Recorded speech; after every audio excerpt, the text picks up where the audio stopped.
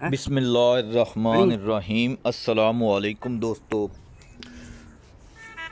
ਦੋਸਤੋ ਹਰ ਰੋਜ਼ ਦੀ ਤਰ੍ਹਾਂ Muhammad dairy farm ਤੋਂ ਇਨਸ਼ਾਅੱਲਾ ਇਨਸ਼ਾਅੱਲਾ ਅੱਲਾਹ ਪਾਕ ਦਾ ਹੁਕਮ ਹੋਇਆ ਤੇ ਇੱਕ ਤੋਂ ਇੱਕ ਅੱਛਾ ਤੇ ਟਾਪ ਕਲਾਸ ਦਾ ਜਾਨਵਰ ਆਂਦਾ ਰਵੇਦਾ ਦੋਸਤੋ ਅੱਜ ਵੱਛੀ ਆਈ ਹੈ ਵੱਛੀ ਨਹੀਂ ਤੋਹਫਾ ਹੈ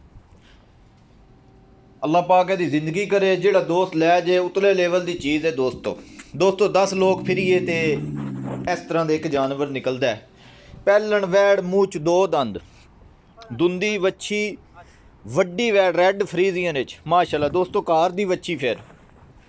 ਕੋਈ ਫਾਰਮ ਦੀ ਕੰਡਮ ਜਾਨਵਰ ਨਹੀਂ, ਦੁੰਦੀ, ਵੈੜ, ਪਹਿਲਾ ਸੂਆ, ਗੱਬਣ। 10 ਤੋਂ 15 ਦਿਨ ਵੱਛੀ ਲੈਂਦੀ ਹੈ ਬਹੁਤ ਵੱਡਾ ਜਾਨਵਰ ਹੈ ਥਾਣ, ਚੱਡਾ ਪੀੜੀ ਹਾਰ ਥਾਣੇ ਵੱਖੋ ਵੱਖ। ਦੋਸਤੋ, ਵੱਛੀ ਹੈ 10 ਲੱਖ ਰੁਪਏ ਦੀ। ਜਿਹੜੇ ਦੋਸਤ, ਜਿਹੜੇ ਭਾਈ ਨੂੰ ਪਸੰਦ ਹੋਵੇ 5 ਲੱਖ ਰੁਪਏ ਦੀ ਵੱਛੀ ਦੇ ਦਿਆਂਦੇ। ਮਜ਼ੀਦ ਮਾਲੂਮਾਤ ਵਾਸਤੇ ਨੰਬਰ ਸਕਰੀਨ ਤੇ ਦੇ ਦਿੱਤੇ ਨੇ ਮੁਹੰਮਦ ਡੇਰੀ ਫਾਰਮ, ਜ਼ਿਲ੍ਹਾ ਸਰਗੋਦਾ। ਦੋਸਤੋ, ਇਹ ਵੱਛੀ ਖੜੀ ਹੈ ਜੀ। ਜਿਹੜੇ ਦੋਸਤ ਦੀ ਪਸੰਦ ਹੋਈ, ਉਸ ਭਾਈ ਨੂੰ ਤੋਹਫਾ ਕਰਕੇ ਦਿਆਂਦੇ। ਦੋਸਤੋ, ਵੱਛੀ ਜਿੰਨਾ ਚੱਡਾ ਲਈ ਲੈ ਹੈ, ਜਿੰਨੀ ਉੱਤੋਂ ਇਹਨਾਂ ਵਾਲੀ ਥੱਲੇ ਚੱਡਾ ਇਤਨਾ ਚੱਡਾ ਹੋਰ ਲੈ ਜੀ। ਬਹੁਤ ਵੱਡਾ ਜਾਨਵਰ ਹੈ ਦੋਸਤੋ। ਮੌਕੇ ਤੇ ਆ ਕੇ ਦੇਖੋ, ਚੈੱਕ ਕਰੋ, ਤਸੱਲੀ ਕਰੋ। ਜਿਸ ਦੋਸਤ ਨੂੰ ਪਸੰਦ ਹੋਵੇ 5 ਲੱਖ ਰੁਪਏ ਦੀ ਵੱਛੀ ਦੇ ਦਿਆਂਦੇ